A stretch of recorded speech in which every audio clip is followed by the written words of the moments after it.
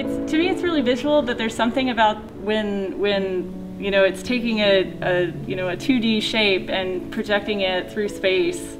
I don't know. It just it's like Alice in Wonderland going into the Looking Glass. I think it has a magical quality about it, um, and you can really bring them to life. I'm freezing my tail feathers off.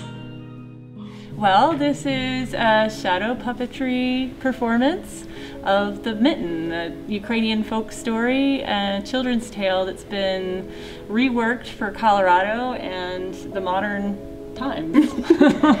And this story, uh, this production is COVID safe, which is very important. So it takes place all outside for the audience members and inside for the puppeteers, and everybody is distanced and safe and some family friendly, happy theater time during COVID.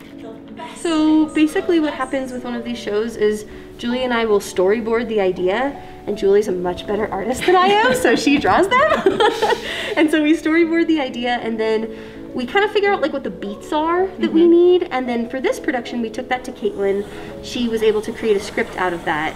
Meanwhile we and another designer are designing the actual puppets themselves and so it's a combination of things being drawn things being reworked on the computer and then we actually print them out. for any configuration or do you like just sort of the, the like Clusters. you can do a lot of um, really interesting visual like cinematic effects that aren't aren't in this type of puppet world.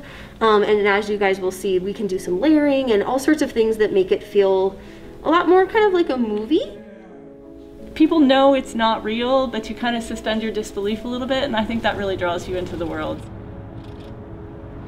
Theater died last year, and that was um, really tough for all of us. And so we did a lot of brainstorming about how we could create a theatrical experience that was safe for people, and it did fantastic, and that's why we're here. So, I mean, personally, it's just people being able to experience the joy of theater because they can't do that right now in a regular situation. And so I think it's just so great that we're able to not only bring the joy of theater, but also expose people to puppetry because a lot of people don't know how cool Then puppetry the is. then there's a cross cross. Yeah. And that's we're okay with that. Okay. We don't want to try to cross. And basically, just what Julie said, and one of my favorite things just about puppetry in general is taking something inanimate and what we call breathing life into it. And so, you know, that can be of this type of puppet, but also with shadow puppetry, it's that same idea is they're just pieces of paper and we get the audience to empathize with a piece of paper, which is just the magic of mm-hmm. puppetry, I think.